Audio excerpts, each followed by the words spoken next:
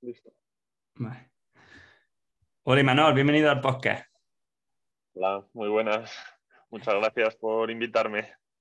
Pues nada, es un, placer tenerte por aquí, la verdad. De, de, estas entrevistas que me apetecía muchísimo poder hacer alguna vez. Y bueno, para empezar, eh, creo que la gente ya te conoce, pero me gustaría preguntarte por tu inicio, por cómo, cómo te da por, por practicar ciclismo y un poco cómo fue tu paso por las categorías inferiores hasta llegar al profesionalismo. Bueno, pues yo creo que soy de esos que dicen hijos de la época de Perico y Indurain, ¿no? Yo me aficioné con Perico y luego pues la enganchada fue con, con Indurain. Y nada, pues inicios me comencé a competir en alevines, sí, muy, muy chiquitín en alevines y nada, inicios normales, o sea, sí, alguna vez ganaba, pero no era lo usual ni mucho menos. Y nada, pues era un juego y sobre todo que lo, lo, lo pasaba genial, lo pasaba genial con la bici y fui pasando categorías y ya hasta, bueno, ya cuando sales a carretera, cadetes y juveniles ya empiezas un poco a tomártelo más en serio. Y así, así, la verdad que de los mejores recuerdos que sobre el ciclismo son casi de esa época, de esos comienzos y, todavía mantienes amigos y tienes, bueno, pues eso, haces, haces amistades para toda la vida en esa época.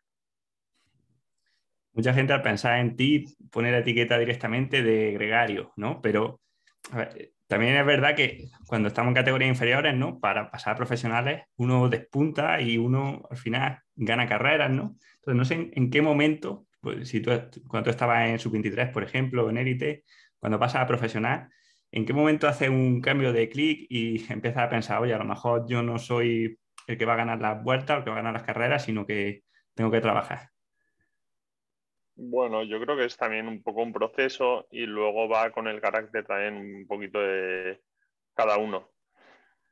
Al final, esto se trata de ser útil, o sea, que un día puedes ser tú el que se beneficie y, rematar la faena, pero se trata de ser útil, de sobre todo, pues oye, eh, aportar eh, para, bien. Entonces, pues te da, al pasar a profesionales, conocer la categoría, ver las carreras, cómo se deciden, cómo va, todo, tus características, el nivel, tal, pues te vas dando cuenta y también, pues eso, la labor del equipo, de compañeros, de directores, de, pues de la gente, pues te ayuda a entenderlo, te ayuda a que, bueno, al final es una cosa que tú tienes que interpretar y que, que, tienes que aceptar también, ¿no? Porque a todos lo que vemos en la tele es a los primeros y nos gustaría ser como ellas, como ellos, a mí también pero pues eso, interpretas la situación y, te vas dando cuenta, pues eso, que quizás para rematar, pues tienes más limitaciones que, otros compañeros y que, hay que apostar por quien más probabilidades tiene y que tus características son muy buenas para ayudar y que puedes hacer una gran, bueno, marcar una diferencia o hacer una gran labor y ayudar a que, a que el equipo lo consiga, ¿no? Decías que es algo personal ¿Crees que hay gente que esto es lo que más le cuesta, este cambio de, chip? Porque, claro, tal y como está el ciclismo amateur actualmente, normalmente los ciclistas que pasan son los que tienen resultados. Por mucho que en los equipos de formación se diga de trabajar, en realidad luego acaban pasando a los que, a los que ganan. Y, claro, imagino que es complicado ¿no? para una persona acostumbrada a disputar eh, ese cambio de chip. ¿no? ¿Has visto compañeros o gente a la que le haya costado y no se haya adaptado nunca? Sí, sí, es un equilibrio difícil porque al final, como dices, pues para pasar, que suene tu nombre, que se fijen en ti, pues hay que despuntar un poco, destacar y no sé, pues quizás no hace falta ganar muchísimo, pero sí que, sí que ayuda. Entonces, pues sí, pues hay gente que, que, que es buenísima y que cuando llega, pues bueno, pues es un proceso que uno tiene que interiorizar, ¿sabes? Al final es muy bonito pasar, pero son unos años que también son duros a nivel físico y mental, pues porque al final la categoría cambia, porque al final, pues bueno, esto es un poquito diferente, te sacan los ojos bastante más de lo que estabas acostumbrado, te ponen en tu sitio y no, la psicología es importante. O sea, en el deporte, por supuesto que, que manda y muchísimo. Y, este, en este caso también, pues al final, oye, ser gregario, pues a todo el mundo no le gusta o no le apasiona o no le fascina y hay que, pues eso, hay que entenderlo, hay que aceptarlo y hay que adaptarse a ello también. Me han dejado algunas preguntas para ti. Una que era de Paula y decía que debe ser duro estar sufriendo y dando siempre lo mejor de ti, viendo que los triunfos se los lleva otro de tu equipo. A lo que añadiría, ¿qué ocurre si este otro de tu equipo, porque imagino que habrá, habrá tenido muchísimos líderes en toda esta época, ¿has tenido alguna vez algún líder con el que te hayas fatal, que hayas pensado, uff, qué ego tiene, qué tal, sin dar nombre, y el que te haya costado mucho el estar ahí sufriendo, esforzándote para que él se lleve, entre comillas, la gloria? No sé, así haciendo memoria, pues seguro que con uno eres más afín que con otro, pero he tenido la suerte, siempre han sido gente correcta, gente que, sabes, que si yo he dado mi mejor esfuerzo me lo han agradecido, sabes, igual no he llegado al punto que era el objetivo o he tenido que trabajar más antes y, y acabar mi labor antes de lo que yo pensaba o tal, pero si me han visto el esfuerzo sincero, han sido compañeros de, de agradecerlo, ¿sabes? De, de, valorarlo y he tenido mucha suerte con eso y estoy contento. Sí que hay gente pues más, más de una manera, gente de otra, pero, pero yo creo que también la grandeza de un campeón es que sea, que sea cercano con sus compañeros, ¿no? Y eso realmente le hace mejor corredor, porque si tú tienes contentos a los que te apoyan, te dan, pues eso, un 110, ¿no? Y es una cosa que, otro proceso que tienen que interpretar también ellos, ¿no? Que si facilitas el trabajo, si das las gracias, si tienes a la gente contenta, te rinden un poco más. Eso es, que al final un, gran campeón lo tiene que ser también fuera de, la bici. Y, y Manol, ¿tienes comprobado en las etapas, por ejemplo, en las etapas llanas, ¿Tienes comprobado cuánto de más trabajo o potencia generas tú respecto a tus compañeros? Por ejemplo, con alguna métrica como el factor de intensidad. Sí, sí, hay, hay estudios, estudios, hay pues eso, recopilación de datos. Eh, sí, pues, pues ya se empieza a ver, ¿no? De los últimos años y así, pues sí, sí, sí. Tenemos eh, ciertas bueno, ciertas acumulaciones de datos pues que te, que te, hablan de eso. Y más que en una etapa en concreto, pues quizás hasta, hasta en un tour y sí, sí, hay, hay diferencias, hay diferencias, sí. Sobre todo, pues eso, pues la gente que va, pues eso, si es llana, porque vas un poquito al aire, porque vas protegiendo, si es subida, porque tienes que hacerla igual, a tope. y tal, pero sí, sí, hay, hay, diferencias, ¿no? En zonas de trabajo, tiempos acumulados en zonas. Eh, sí, es, peculiar y se ve, se ve la cantidad de trabajo, sí. Como también se ve, pues eso, la cantidad de intensidades que soporta un líder, ¿eh? que también, también se refleja. Sí, no sé si nos puedes dar algún dato así de cuánto de más o no, es que tampoco es, eh, es que no es fácil, es que al final eso es comparando con otros corredores y otros corredores, pues hay corredores que son de todo terreno, hay corredores que son escaladores, hay corredores que son líderes, hay corredores que son de llano, pero igual es un poquito más para el final, o, ¿sabes? Es, es muy difícil la comparativa y no tengo, o sea, no tengo porcentajes, tengo acumulaciones de tiempos y realmente el dato de memoria ahora mismo no me, o sea, tengo los informes, pero no, sé decirte, oye, pues son 25 minutos más de R3 que otro. No, no, no, depende muchísimo. Cada día es una aventura y cada corredor tiene su función y entonces no es súper comparable, ¿sabes? Pues, pues un corredor de llano tiene unos exigencias y uno que tiene que estar más en la montaña, pues quizás los primeros días, o que tiene que tratar es ir de seguro, sin caerse, escondido, guardando, pues, pues la comparación es difícil ahí. Sí, es que además mucha gente piensa, ¿no? que lo ve en la tele, que en las etapas de montaña, si desconecta antes, ya recupera, ¿no? Incluso gente que puede pensar que pasa al revés, ¿no? Que, el que ha trabajado al principio, como luego ya va tranquilo y, nada de eso, ¿no?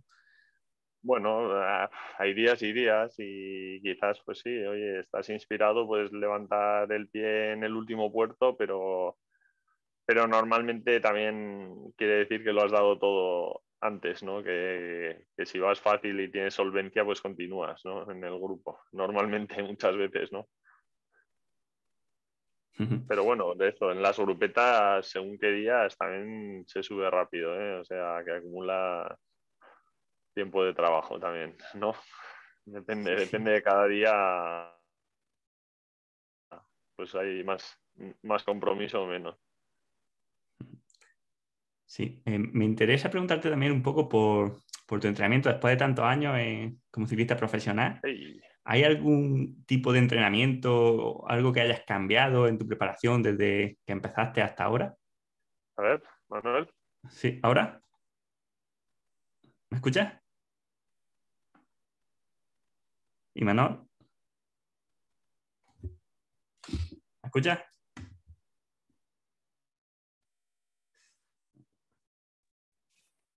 ¿Ahora? Ahora, no sé qué ha ocurrido. ¿Será del wifi quizás? Sí, tiene pinta. Ya lo siento, no puedo lo que hay. No, bueno, no pasa nada. Te, hago la siguiente pregunta, porque creo que ya estaba respondida, ¿no?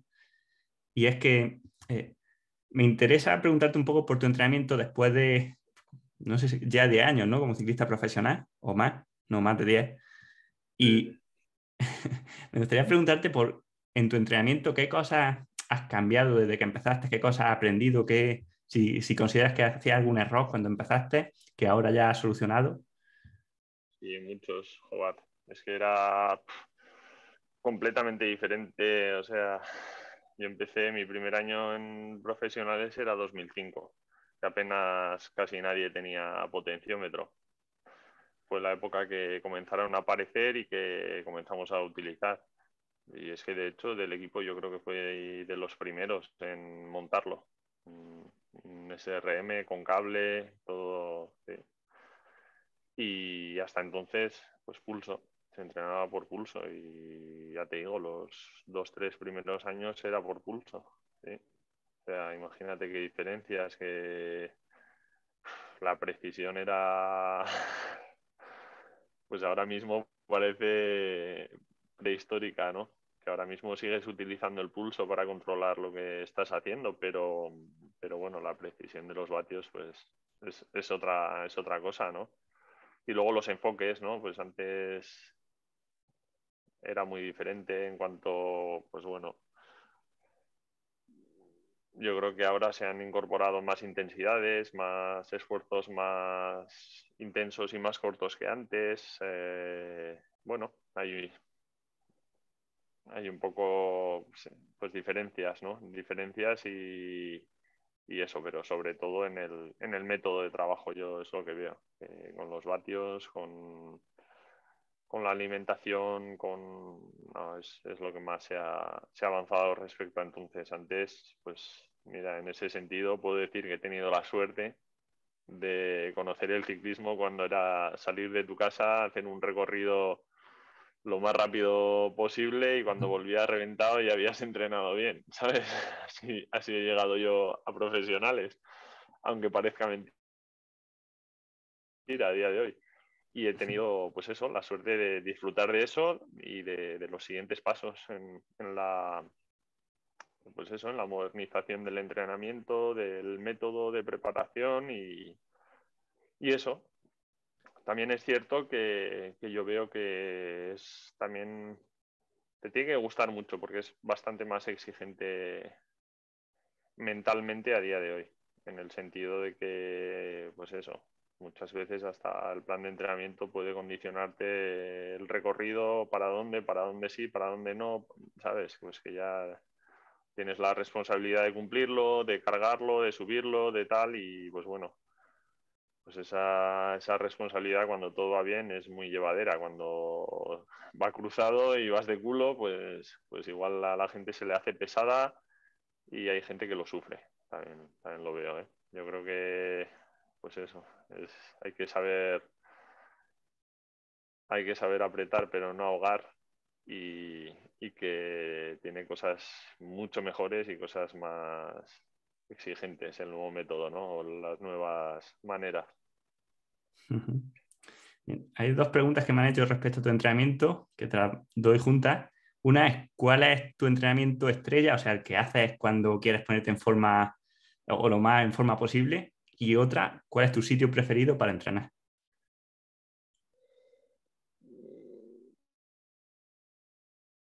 Yo creo que, no sé, tengo como varios entrenamientos que me encanta hacerlos, ¿no? Y tienes varios recorridos y haces, pues bueno, cuando quiero trabajar la condición, pues tengo eso, un recorrido que hago una parte de trabajo en llano, luego tres subidas como de 20 entre 18 y 22 minutos que, me sirven para acumular otra, otra horita ahí de trabajo y luego otra vez vuelvo pues eso, haciendo un buen tramo en el llano y ahí pues ya lo he hecho muchas veces y tengo, tengo un poco ahí el termómetro cuando cuando vuelves y en la última de ya no sabes si se mueve el pulso, si no se mueve, si está en su lugar, si no, pues, pues me gusta hacerlo, como, como algunos otros. Y luego, pues, la verdad que eso. Eh, luego, para ponerte bien, lo típico es, pues eso, trabajas bastante la condición y al final de un buen bloque, pues ya haces más cosas intensas, el típico ¿no? 30, 30, 20, 40 y ese tipo de cosas que, es un poco el brillo también, se van metiendo también por ahí, pero bueno, que esas intensidades normalmente van ahí en la parte final y es lo, que te va poniendo bien, ¿no? Antes de, ir a competición y cosas que, que, bueno, pues que al final profesionales que haces más de 15 años de carrera y que compites más de 80 días de competición al año también hay ciertas cosas que, te las tiene que dar la competición, ¿sabes? 80 días de competición al año con dos grandes, más de 10 años, pues, ¿sabes? Pues tienes que, calcular un poco y hay, hay, cosas que te la da la propia competición. Sí, eso es que al final muchas veces la mayoría de entrenos serán de recuperación, ¿no? Porque con 80 días de competición al año poco más. Sí, no hay hay épocas, hay épocas, hay épocas que puedes meter buenos bloques, pero eso, el principal es hasta comenzar, porque muchas veces comienzas y, es que ya es difícil meter todo lo que nos gustaría. Al final es difícil porque compites una semana, eh, terminas fatigado, necesitas recuperar y en 10 días pues vas a la siguiente o en una semana o en dos semanas y tampoco hay, pues eso, los márgenes de poder eh, meter todas las características que quieras o, sabes, que tiene compromiso. Y, ahí el problema puede ser pasarte, ¿sabes? Porque, claro, como llegues un poco justo a la siguiente competición, ya sales fatigado, te vuelve a costar más recuperar y, bueno, pues eh, hay, que hay que cogerle la medida, ¿no? De cada uno, al final, cada uno. Yo tengo suerte que recupero bastante bien y bueno, pues tengo margen de equivocarme un poquito más porque luego más o menos le voy dando la vuelta. ¿Crees que ahora el ciclismo es más peligroso que hace 5 o 10 años? Por, por ejemplo, por el aumento de la tensión, de que la gente quiere estar adelante. Sí, yo creo que sí. No sé si 5 o 6 años, pero 10 sí, yo creo que sí. Hay muchísima más tensión eh, y luego otro factor es que hay más velocidad. O sea, eh, más aerodinámica, mejores materiales, mm, incluso mejor asfalto y demás, y es que se va muy rápido. Y es que hay peligro de, pues eso, de mucho rato a muchísima velocidad. Y eso pues lo vuelve peligroso. Acorta los márgenes de maniobra, de reacción y, y demás. Y sí, sí, creo que sí. Eh, también es cierto que últimamente se está mejorando, pues eso, señalización, eh, pues todo, todo lo que puede un poco el organización, el organizador se le está pidiendo y se están haciendo avances, señalización, pues intentar evitar obstáculos y demás, pero es que se ven pues eso, pues que hay mucha velocidad y cuando hay una caída a alta velocidad, uff, son feas. Sí. al final las medias están siendo de 45, lo que supone que, prácticamente toda la etapa se va a más de 45, ¿no? Sí, sí, sí, sí, mm. sí, sí, sí, sí, sí, es así. Yo creo que, sí, que, ostras, que es que está habiendo averías también serias, pero es, pero es eso, yo creo que, que se nota el aumento de velocidad. Ahora empieza, bueno, en tres semanas eh, estará el tour. Veremos a 150 de meta, 200 de meta ya los equipos en fila, eh, ocupando toda la carretera. Y una pregunta que seguro que se hace mucha gente es, ¿cómo organizáis para ir todo el equipo juntos en fila y no perder, no perder la estructura? O sea, porque que el líder, por ejemplo, no se quede atrás o, o así. Bueno, sí, pues, pues eso es la teoría, eso es lo que trata de que, de que sea así pues es un poco coordinación entre todo el equipo, ¿no? Que uno le ayuda a proteger al otro, tal. Luego también muchas veces ocurre que tal y como estás tú, está otro equipo que está al lado tuya y sabes que si nos respetamos, pues, pues es mejor que si vamos peleando demasiado, ¿no? Y, y eso. Y luego el líder también, pues eso, tiene que ser hábil para mantener la fila, para eso, para estar con los compañeros, para... Pero bueno, eh, cuando hay tensión verdadera, pues, pues es muy difícil mantener todo el equipo. O sea, bastante tienes con mantener dos, dos gregarios con, con, el líder o tres o los más que puedas, pero es que hay ocasiones que bastante es con, con estar tres juntos para pues uno delante, otro detrás, por si tiene algún problema, por intentar estar colocados y es imposible estar los ocho.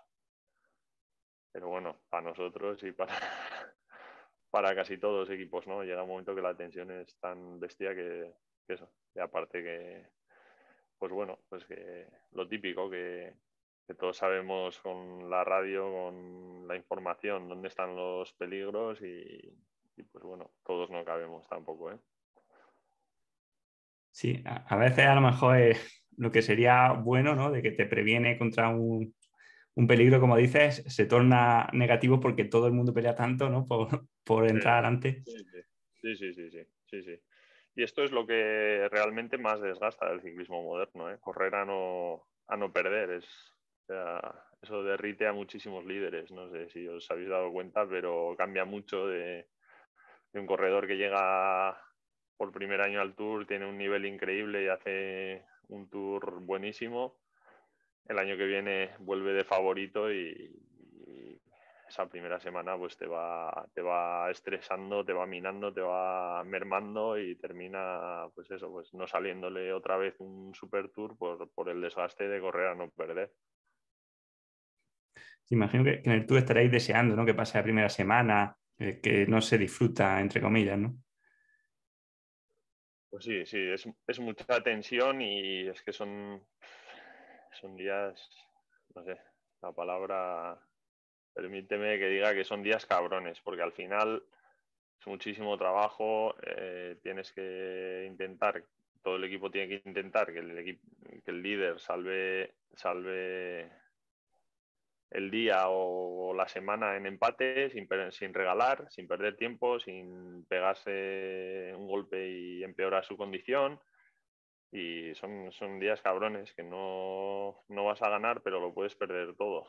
Tienes poco que ganar y, bastantes riesgos. Entonces, pues sí, son días tensos y cuando llega la primera subida se ordena la clasificación, se tranquiliza un poco el pelotón y demás, pues, pues se respira de otra manera. baja el estrés, ¿no? Sigue siendo igual de competición, igual de exigente, igual de duro si quieres, pero bueno, ya es, otro ambiente más, más, se puede navegar de otra manera. Y una vez que tienes un golpe como el que tuviste hace, hace poco, alguna caída, incluso fractura, ¿cómo haces para reponerte mentalmente y, no cogerle miedo? ¿Tienes algún tipo de ritual o tenéis? O... Mm, no, yo creo que es cada uno un poco en su cabeza, ¿no? Y pues sí, hay veces que te cuesta más, otras que te cuesta menos te falta igual confianza y demás, pero bueno, yo para eso soy bastante bastante cabezón porque una vez que empieza la competición como que no sé, abres, no sé, eh, entras en otro, estás a lo que estás a la competición y no estás pensando en, en esto me da miedo o tal y, no, no, sufro mucho por eso, pero bueno, sí que alguna que tuve así gorda por cómo fue y tal, sí, aquella me costó y, hasta que hubo un momento que, que, lo vi claro y dije, esto no puede ser, al miedo se le gana de cara y, y lo tengo que enfrentar y superar y ya está. Y pude hacerlo y, jugar, pues la verdad que súper contento porque me estaba costando.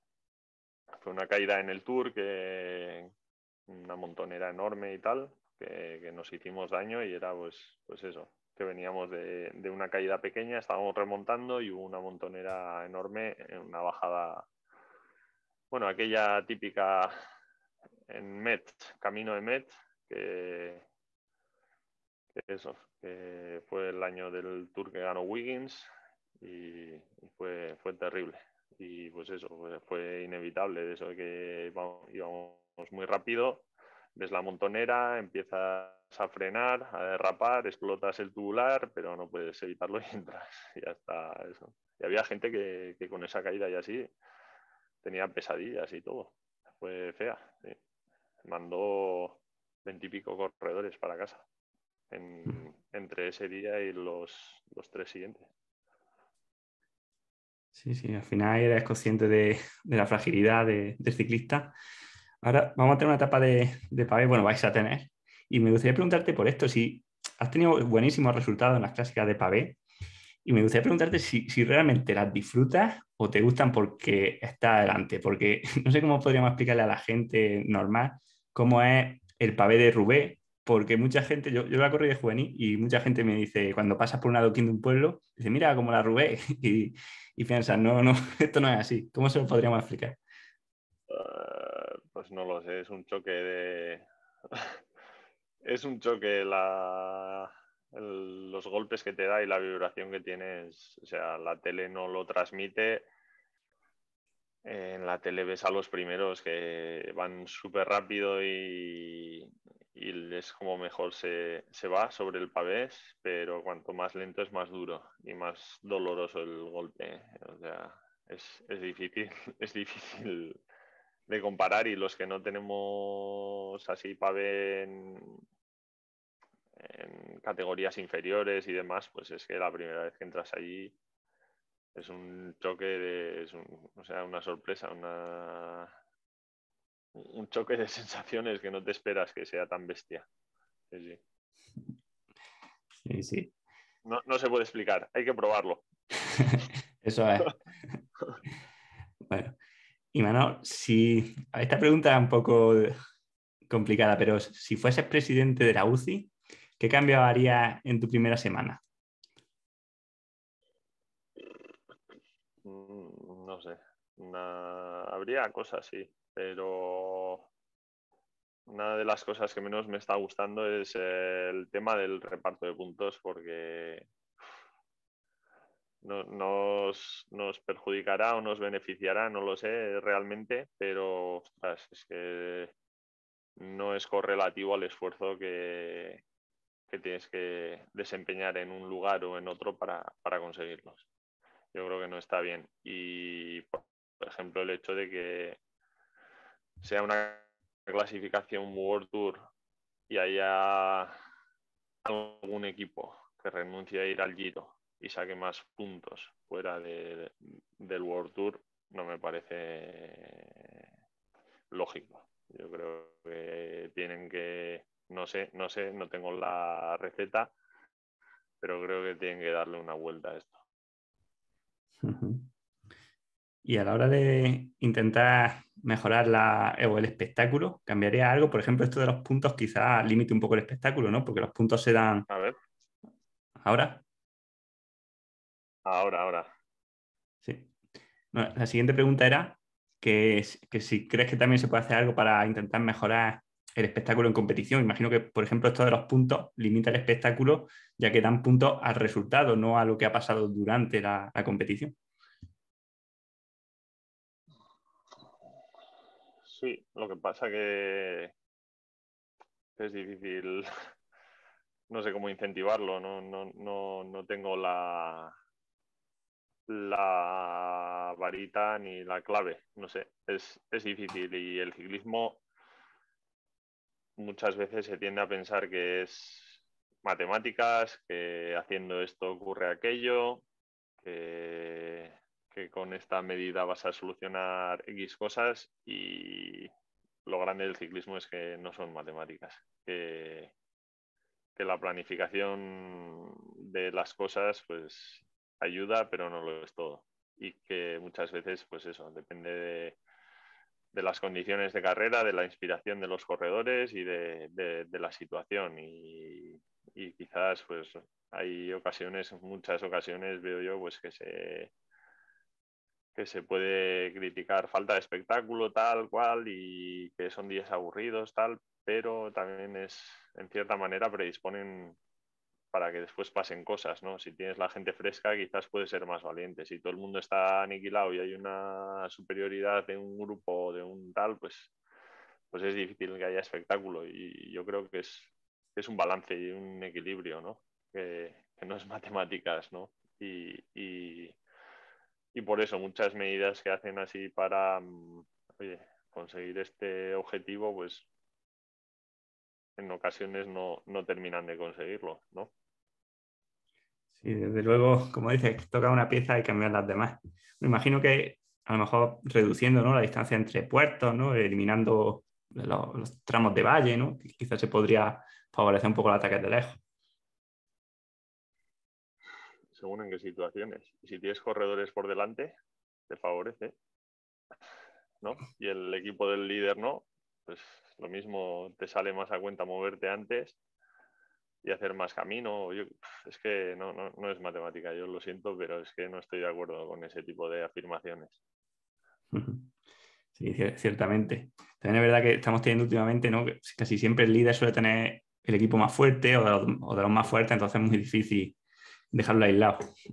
Sí, y luego pues también la propia evolución del entrenamiento que aumenta el nivel de todo el mundo, que hace que el nivel sea altísimo, que el que expone el que se expone normalmente casi siempre tiene mucho más riesgo de pagarlo que el que va escondido y que hace su mejor sus mejores registros al final y todo esto ¿no? es la evolución y pues eso todo el sistema científico también pues ayuda a que esto sea así aunque la gente no lo diga no al final pues todo está estudiado, todo el mundo sabe que si no gastas más de tanto en la última subida haces tu, tu, mejor rendimiento y vas a estar en cerca de ganar o no. Pues entonces tienes un equipo de, que se va a encargar de llegar a la última subida para que tú, para brindarte la opción de que tú des tu,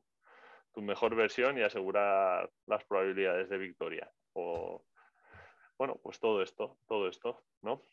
O que está claro que, pues eso, con datos, pues todo el mundo sabe que si un corredor va solo por delante, pues va a tener mucho más gasto, mucho más riesgo de, quedar vacío que, uno que va más tiempo en el grupo y puede, pues bueno, todo esto también ayuda, ¿no? Yo creo que es parte de las modernidades y que por un lado es una pena, pero que de vez en cuando también salen días, días de, de hacer afición, ¿no? Sí, sí, sí. Desde luego que cada vez cuesta verlos, pero los días así nos pegan al televisor. Eh, no, en el mismo giro ha habido, ha habido varios, ¿eh? Sí, sí. El de eh, ¿dónde fue? En Turín, ¿no? Cuando, atacó Carapaz. Sí, sí, sí. Ese día fue bestia y, estuvo bonito. Este, ese, quizás fue de los más entretenidos del giro. Y no sé hasta qué punto también lo, achaca a estos corredores ¿no? que, salen, que son rompen los esquemas, ¿no? A lo mejor no tiene mucho sentido a nivel de, táctica, pues lo que hace a veces Van der Poel o Pogacha o mm, Carapaz, ¿no? Atacar tan lejos quizás no tenga sentido, pero, pero da un día.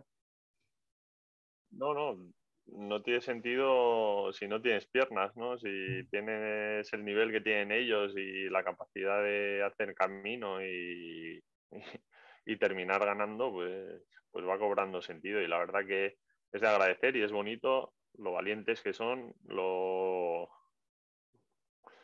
no sé, el espectáculo que dan también, ¿no? pues eso, no siempre sale bien, pero, pero es de agradecer. Yo creo que todo el mundo del ciclismo lo sabe.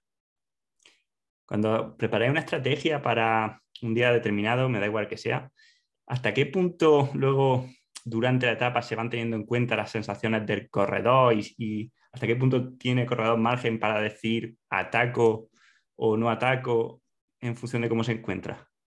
Bastante, bastante, bastante. Es que hay que ser consciente, o sea, no sé. Parece que igual yo estoy aquí frenando toda la, la yo qué sé, las, las, ganas o tal, pero hay que ser consciente también que si tú no estás bien y haces un ataque, te estás poniendo en evidencia. Eso, y por eso lo que me preguntabas de, sobre em, si el corredor tiene margen de decisión y tal, pues sí, antes de hacer un movimiento, pues conviene preguntar quizá asegurarte, ¿no? Y preguntar, oye, ¿está todo correcto? Eh, ¿Continuamos con el plan? Sí, pues venga, adelante, convencidos, a por ello, ¿no? Pero sí, sí, también puede ocurrir que continuamos con el plan y, uff, no, no, no, no lo veo que, que hoy no voy bien, que no tengo buenas sensaciones, que tal. Y ahí entonces intentas, ¿no? Oye, preguntas, oye, ¿estás seguro que vamos todo el mundo apretado, que vamos rápido, que ¿sabes? Que nadie tendrá las sensaciones ideales ahora mismo por tal y como se ha venido y, bueno, pues al final depende pues eso, del propio corredor. Genial. Bueno, y para ir terminando la entrevista, me gustaría preguntarte por algunos consejos, sobre todo para gente joven, ¿no? después de todo lo que llevas vivido. Y una, pregunta que, que, quería hacerte es, si volviese a tener 18 años o 17 volvías a ser juvenil, ¿seguirías dedicando tu vida al ciclismo o te dedicarías a otra cosa? Sí, sin duda. Me ha dado muchísimos buenos momentos y he hecho la vista para atrás y es que sí, lo habré pasado mal, lo habré sufrido, pero es, que se me, se me, olvida. Yo me, me, he quedado con las alegrías, con los grandes momentos, con todo lo que he disfrutado y que, y que me sigue gustando un montón el ciclismo. Básicamente yo creo que ese es el motivo principal. Genial. Ah, últimamente, no sé, me, da una sensación, hablando con, chavales y viendo, que creo que está habiendo menos ciclistas, sobre todo en el campo sub-23, como que se están dejando la bici a lo mejor un poco más rápido que, que antes, ¿no? Como que la gente duda un poco más, ¿no? Porque los padres les dicen que se busquen un trabajo, un, o sea, unos estudios para tener un trabajo, o por temas de caídas, temas de, a lo mejor más complicaciones. Y, y ¿qué le diría a estos chavales que, quieren ser ciclistas, pero que luego, no se tienen, pues, por ejemplo, yo lo he visto con algunos así cercanos, ¿no? Que empiezan a tener dudas de si será esto lo que voy a hacer con mi vida, si a lo mejor no mm, quiero perderme cosas que me voy a perder por el ciclismo, o si creo que tendría que estudiar porque me dicen mis padres que estudie para ser abogado o cualquier carrera con futuro, entre comillas? Pues es difícil dar un consejo, pero bueno, al final está claro que, es, que tiene un, punto de cierta locura, ¿no? Eh, esto quiere decir que al final, yo qué sé, es una gran inversión de trabajo, de esfuerzo, de dedicación, de dejar otras cosas por, por tu sueño de, o por tu afición de ser ciclista. Pero, pero bueno, que, al final yo creo que la principal característica para conseguirlo es la cabeza. Uno tiene que estar convencido y, sé que es época difícil, sé que es época de muchas decisiones, que no sabes lo que va a pasar con tu vida, qué vas a hacer con ella, qué, puede ocurrir, qué no puede ocurrir, qué tal. Y el punto clave es que yo creo que si quieres ser ciclista es el momento de dar el todo por el todo. Eh, si quieres ser abogado, después quizás puedes serlo. ciclista no. Entonces, yo entiendo que es un momento de dudas, de complicaciones y, y eso, que no es fácil, no es fácil tomar decisiones y menos pues como tengas eh, caídas, resultados contradictorios y todo esto. Pero pues, bueno, si, si, realmente te gusta, realmente te apasiona, yo te animo a que lo intentes y, y hay cosas que, sí que pueden esperar un poquito, eh, pues un intento y hay otras cosas pues que, pues que en cierta manera pues son eso, unos tañitos que, que como se escapen luego ya no hay manera de hacerlos volver, ¿no? Eh, lo he visto yo también con compañeros, con amigos y, me ha dado, la verdad que me ha dado pena. Pero bueno, es eh, el camino que tiene que elegir cada uno, ¿no? Eh, pensar las cosas bien y, tomar decisiones y, luchar por ellas a tope, no hay, no hay más, ¿no? Ah, pues me parece un consejo buenísimo, buenísimo para, terminar la entrevista. Así que, Imanol, pues te lo digo, muchísimas gracias por, todo lo que nos has compartido y te deseamos suerte ahora en, la vuelta que empezáis y eh, en el tour, ¿no? Pues a hacer tour. Sí, sí. Muchísimas gracias. Que, a ver, hacemos la prueba aquí, a ver si me termino de recuperar, que todavía, ah, bueno, tengo morados y las cicatrices, pero si todo va bien, creo que, llegaré eh, bien al tour. Genial, pues mucha suerte. Muchísimas gracias. Vale. Pues, ¿qué tal lo has visto?